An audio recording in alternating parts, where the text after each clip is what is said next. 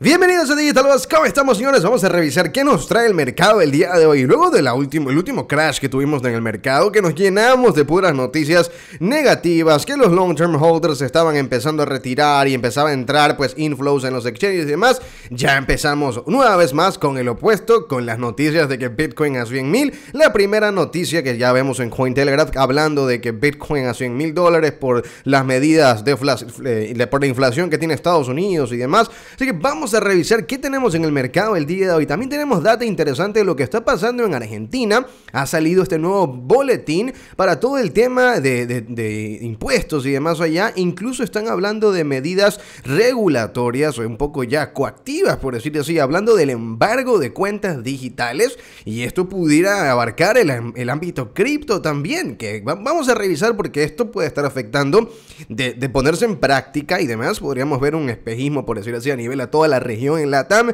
y por qué no en otros países. Vamos a revisar también qué es lo que ha hecho WhatsApp. Ahora podrás pagar con WhatsApp utilizando la wallet de Facebook Novi Digital Wallet. ¿Cómo están desarrollando esto? ¿Cuándo estará disponible para que tú lo puedas hacer? Vamos a revisar noticias de Ethereum. No sé si sabías, pero una transacción en Ethereum, una transacción equivale a toda la energía que se usa para poder eh, dar de electricidad a una casa en todo un día, lo cual pues estamos hablando de la contaminación que puede generar y demás. Si bien está pasando a Proof of Stake, aquí en esta conversación ha salido una criptomoneda de la que hablamos el día de ayer, Tesos, señores, vamos a revisar por qué Tesos podría estar entrando en un mercado a nivel de relevancia por toda esta línea de discusión de toda la energía que consume Ethereum y, Bitcoin también, por supuesto. Vamos a revisar qué tenemos de Shiba Inu, ya que ha sido pues integrado con BitPay. Vamos a ver qué significa esto para el ecosistema, noticias de que Shiba Inu entre en Bitstamp. Vamos a hablar de Saitama también, vamos a hablar de Luffy, qué noticias tenemos y qué es lo que vemos en la gráfica. Por supuesto, si no te has suscrito todavía, no sé qué esperas, dale like, suscríbete, activa las campanitas de notificaciones para que no te pierdas ningún video. Acá estamos para reducir tu curva de investigación, para que tengas tu propio criterio al momento de operar en el mundo de las criptomonedas. Vamos a arrancar con el sentimiento del mercado, ya estamos queriendo despegarnos un poquito más de toda esa área de miedo extremo, acercándonos en el área neutral. El día de hoy estamos con una capitalización de mercado de 2.25T, un decrecimiento de 5.43% con Bitcoin en los 47.821 dólares. Bitcoin va a bajar más. Vamos a ver la gráfica dentro de muy breve. Estamos con Ethereum en 4.148, Solana 181, Cardano 1 dólar con 32. Vaya tip que está pegando y va a seguir pegando probablemente Cardano. Y en el puesto número 13 de CoinMarketCap tenemos a Shiba Inu para todos los Shiba Inu holders en el puesto número 13 en los 3.524, señores. Sobre respecto a esta noticia, como tú sabes, este mercado de las criptomonedas es un mercado bastante frágil y bastante mediático, donde por supuesto los tres niveles que actúan en este mercado, las ballenas, los sharks y los peces,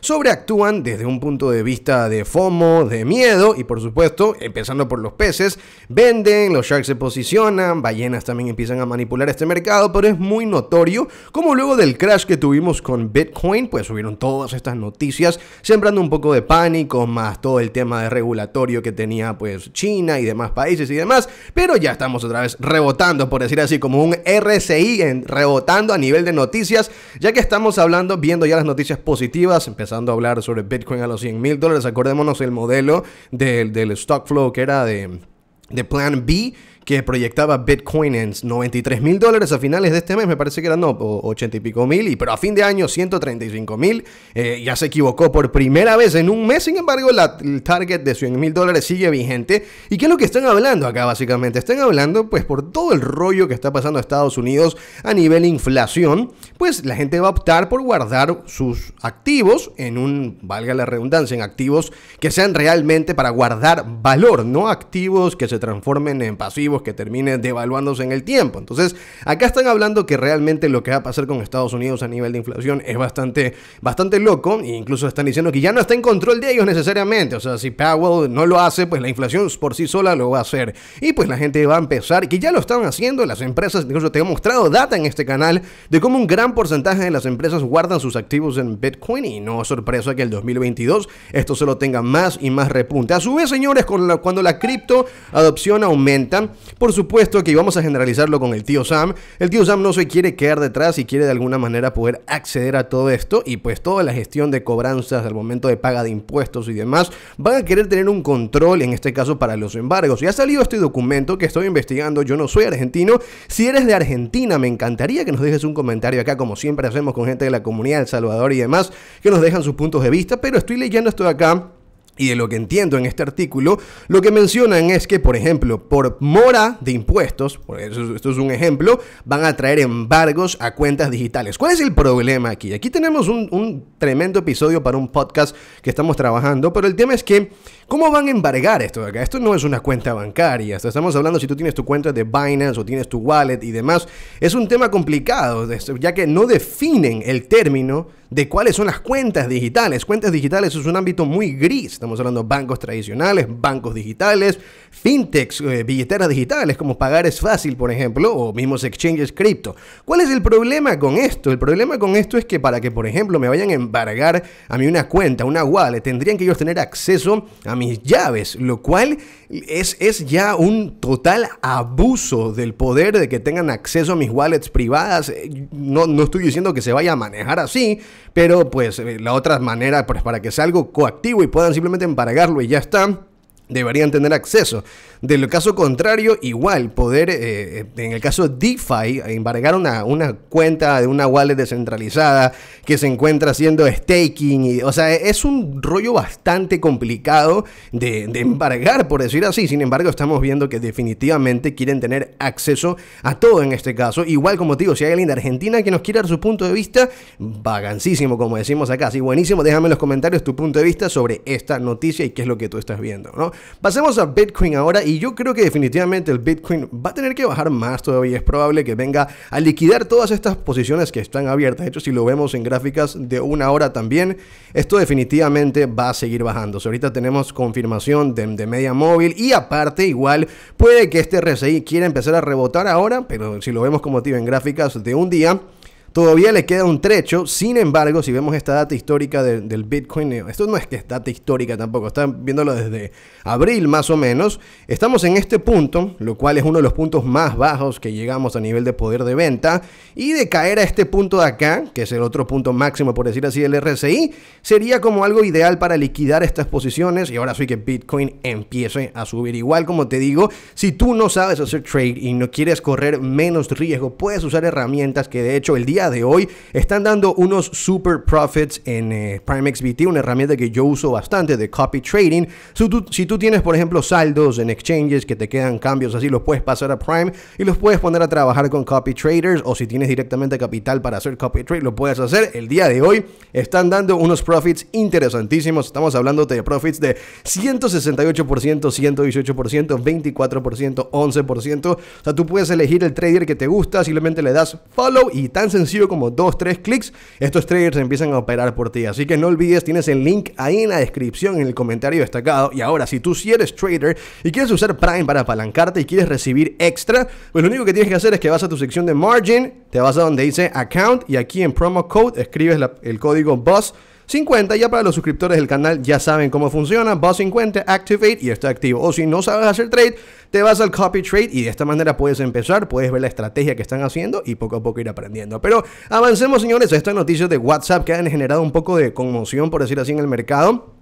Ya que ya habíamos visto como WhatsApp, y en este caso ya no es Facebook, estamos hablando de Meta, estaba haciendo proyectos pilotos para hacer un deployment de su wallet Novi Digital. Sin embargo, por temas regulatorios a nivel de Estados Unidos, no pueden desplegar todo el ecosistema de Novi Digital, incluyendo la wallet que tiene la moneda integrada. En este caso ya no se llama Libra. ¿Cuál era el nombre? ¿Te acuerdas la moneda de Facebook? ¿Cómo era? Ya no era Libra. ¿Cuál era el otro nombre que habían puesto? Era. O si era Libra, espérate.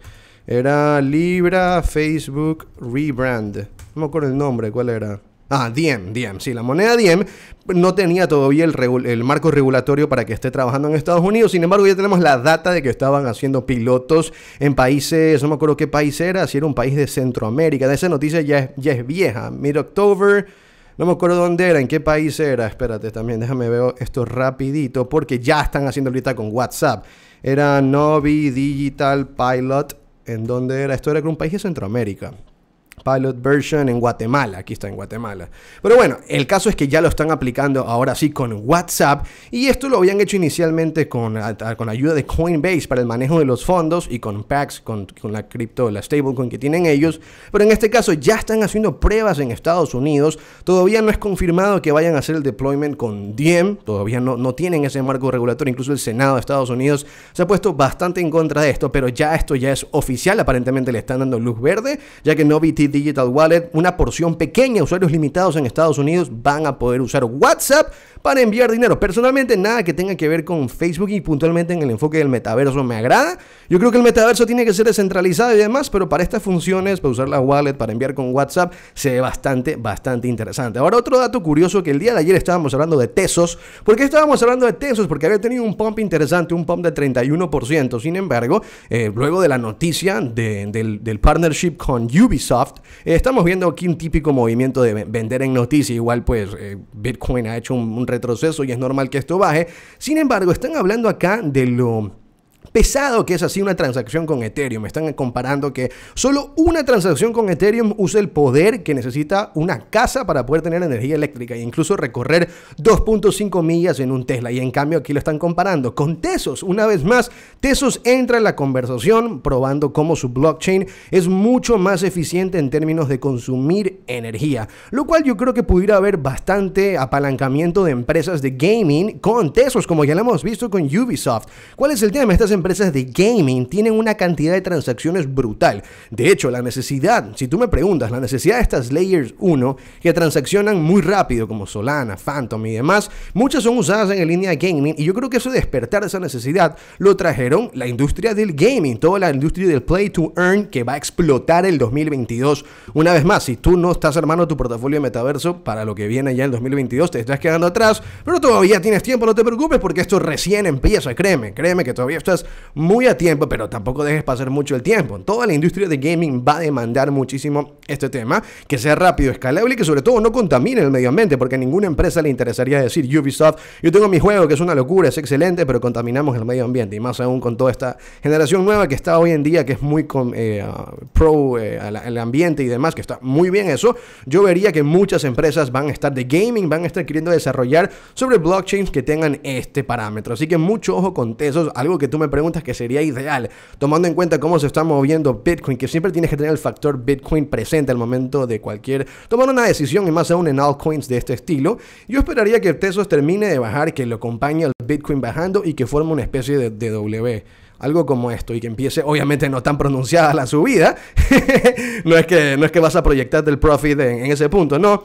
pero definitivamente yo esperaría para entrar que este RSI llegue a estos nuevos puntos anteriores, que marque esta especie de patrón de W y ahí tener una confirmación de media móvil y entramos, entramos, entramos en tesos de ley, igual como te digo, Ethereum, señores, con todo esto que está teniendo, que igual Ethereum puede que sea todo lo que sea, pero todo el ecosistema, no todo el ecosistema, pero un gran porcentaje de la, del ecosistema DeFi y aplicaciones descentralizadas en general trabajan con Ethereum y Ethereum 2.0 va a traer bastantes mejoras. Sin embargo, personalmente no creo que sean tantas las mejoras. O sea, lo mismo se habló con el, London 4, con los AP, que los últimos que salieron y demás, pero yo creo que eso fue más que nada una línea para empezar a presentar Ethereum como un activo deflacionario, o, que no lo es, pero sumado a esta narrativa de que pues el gran dinero va a ser enfocado también no solo en proyectos de metaverso, y demás, sino una reserva de valor para poder guardar activos en el tiempo y que no pierdan su valor. Ethereum, pues con el London Ford que tuvo, dio sus primeros pasos, por decirlo así, a ser un activo deflacionario que todavía no lo es, eh, tiene un carácter deflacionario con la quema de, los, de esos fees, pero no, no es deflacionario. Solo un día Ethereum fue deflacionario, pero de confirmarse en 2.0 algo más agresivo pudiera ser interesante, que igual Ethereum se encuentra en esta pendiente totalmente alcista. Así que mucho ojo con esto de acá. Igual si tú eres trader y quieres analizar técnicamente, puntualmente con 100.000 indicadores, trading puro y duro en nuestro canal de Trading, Trading Boss, link en la descripción y en comentario destacado, señores. Pero para todos los Shiba Inu holders que quieren noticias en ese ecosistema, que ya quieren ver a Shiba por todo lo alto, lo único que te puedo decir es que si no sabes tradear, no te toca nada más que esperar, tener calma, porque a nivel fundamental el proyecto está más sólido que nunca, señores. Partnership con BitPay. Tú sabes lo que es esto de aquí. BitPay es una super plataforma para pagos cripto. Puntualmente yo estoy buscando una integración con BitPay porque estamos todo este tema de la academia Ya vamos a dejar de usar Hotmart, vamos a dejar de usar eso de ahí y vamos a integrarlo todo con nuestro sitio web actual, crypto2.com, para aceptar pagos cripto y demás. Y pues estamos incluso viendo la opción de, BitPay, pero tú sabes cuántas empresas trabajan con BitPay. Realmente, para serte honesto, yo no te voy a mentir, no son tantas a nivel de que esto es un Amazon, no. Pero lo que pasa es que el mercado de plataformas de pago cripto tampoco que es un mercado que tiene el mismo tiempo que un mercado de e-commerce, por ejemplo. No, es un mercado nuevo. Y lo que te puedo decir es que BitPay se lleva una buena ventaja ahora que ya está trabajando hace tiempo con pagos cripto y sí vamos a empezar a ver un aumento en las transacciones. Y esto va a estar espectacular espectacular. Pero como si fuera poco, Milkshake nos comparte la noticia de que ahora Shiba Inu, señores, también está entrando en Bitstamp. Y que para que, no sé si tú sabías, pero en este artículo estaba leyendo yo, y Bitstamp eh, lo acepta Shiba Inu, y mira con qué pares, con el par del dólar y el par euro. O sea, muy bien, dando una extrema facilidad para newcomers que entran a este mercado, pero más aún, hay un dato interesante y es de que Dogecoin estuvo tratando de, entrar aquí. Y no sé si tú sabías, pero, pero Bitstamp tiene mucho tiempo. Está desde el 2011. Es uno de los exchanges más viejos y le va a ser muy bien que esté acá. Pero en este caso, pues mira, Dogecoin ni siquiera pudo entrar acá. O sea, estamos hablando de que eh, prefirieron enlistar a Shiba Inu que a Dogecoin. Personalmente no soy holder de Dogecoin. He tradeado Dogecoin. Eh, le podemos sacar dinero, pero que lo tomen más en cuenta SHIB. Ya vimos también otra poll en Instagram como, no me acuerdo que otra empresa era que querían aceptar Shiba o Doge y Shiba ganó por 80%. Y ya hemos visto todo lo que hace Dogecoin. Ya hemos visto incluso la data que tenemos de que el 40% de los inversores cripto de Estados Unidos poseen Bitcoin, Ethereum y Dogecoin. Y Shiba Inu tranquilamente va a ir por ese camino. Vamos que Shiba Inu tiene un proyecto de verdad. Y a nivel gráfica de Shiba Inu, como te digo, Shiba Inu estaba haciendo todo lo que ha estado haciendo el Bitcoin estos últimos días. Y si lo vemos en una hora, esto también en teoría tendría que seguir bajando. Déjame que amplíe esto un poquito más. Tendría que seguir bajando a este es último punto que te marqué, más o menos a este punto. No es que necesariamente tiene que caer ahí, pero verlo ahí sería algo totalmente eh, factible. Mija, te voy a mostrar algo ahora sí en gráficas de un día.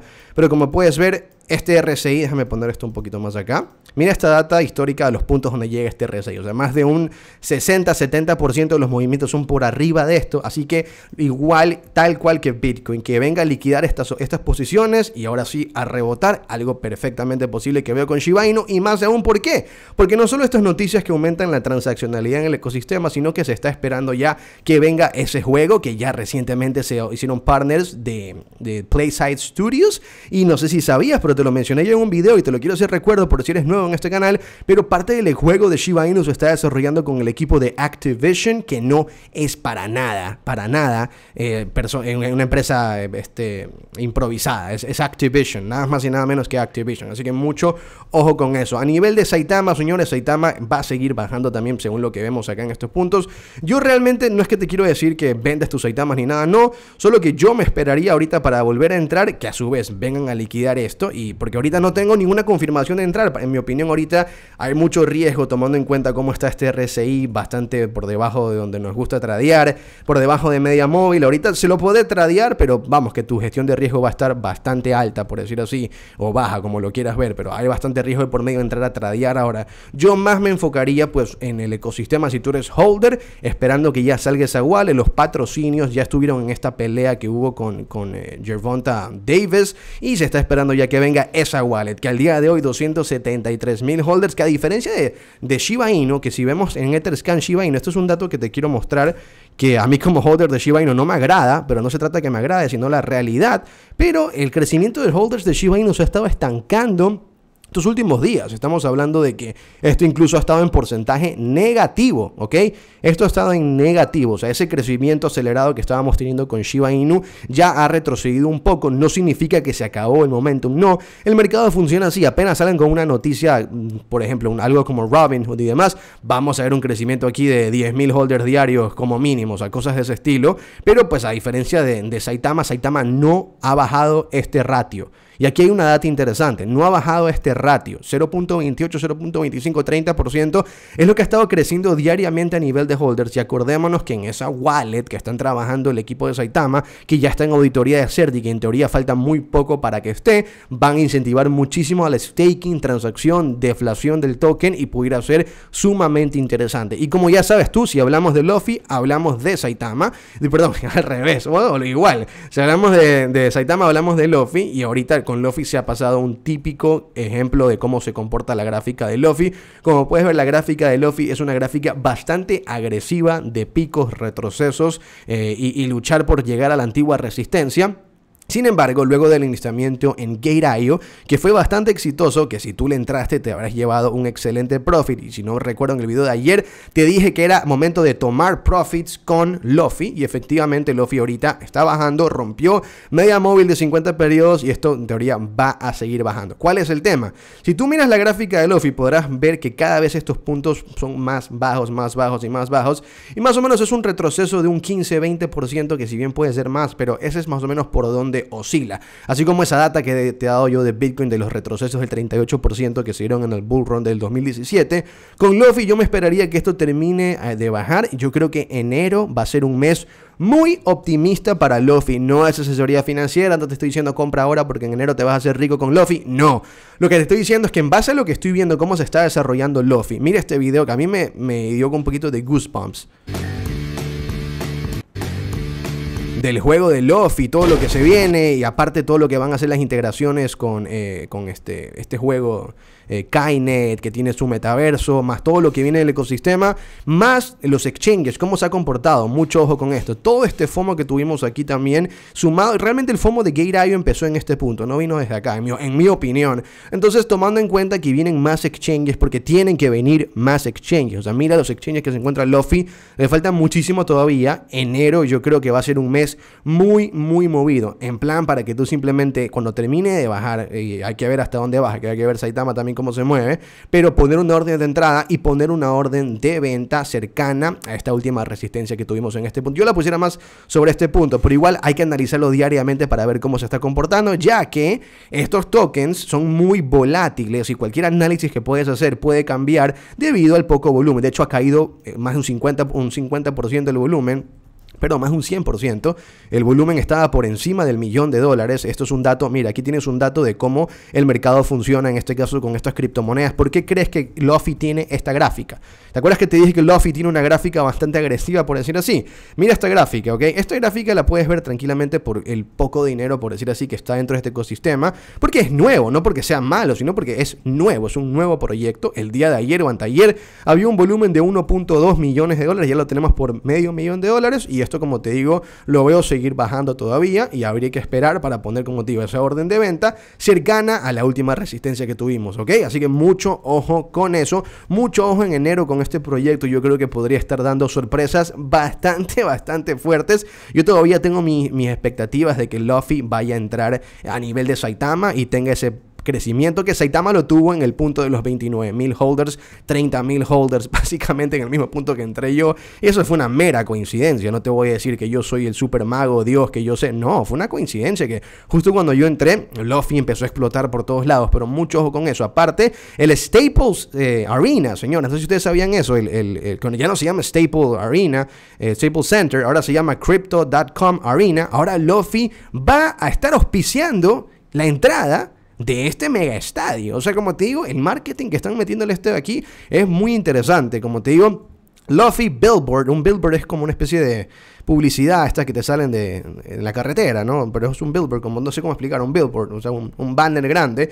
Va a estar en la entrada del Crypto.com Arena. No sé si tú sabes cuál es el Crypto.com Arena. Déjame que lo voy a poner como Staples, Staples Center. Quiero que lo veas aquí que ahora se llama Crypto.com Arena, pero mira, es, algo masivo, es algo masivo y Luffy va a estar ahí. Acuérdate que ya estaba haciendo publicidad bastante en El Salvador, Luffy y demás, todo lo que van a hacer con el ecosistema de ellos me mantiene bastante la expectativa, pero más que el ecosistema que están creando de utilidad, estos proyectos como Luffy, como Saitama, y no quisiera hablar de más porque realmente no los he investigado, los demás que están relacionados. Hay una vaina que se llama One Alliance, que están un montón de proyectos aliados. Pero pues esto me gusta porque ellos manejan bien estos conceptos que son básicos, pero son muy importantes. O sea, eh, este, este, tema de las quemas y los buybacks son buenísimos porque así como el buyback que vamos a tener de Bitmart por el hack que hubo, esto, esto simplemente lo que hace es sumar poder a la fuerza de compra y sumado a la quema, sumado al FOMO, al marketing, pues tenemos un escenario bastante optimista, ¿ok? Mucho ojo con eso. Igual estos proyectos, comprar y olvidarte y holdearlos, eh, no te recomiendo tanto que hagas eso, sino que si los estés analizando, los estés tradeando, si no sabes tradear, por lo menos comprando y vendiendo en periodos pues intermedios, porque como te digo, como son tan nuevos, tan poco volumen, tan pocos holders, te puedes llevar bastantes bajas, pero también te puedes llevar una super ganancia, como mucha gente se la llevó en Saitama. Así que mucho ojo con eso. Espero que te haya gustado muchísimo este video. No olvides darle like, suscribirte, activar las campanitas de notificaciones y nos vemos en un siguiente video mañana. Se me cuidan.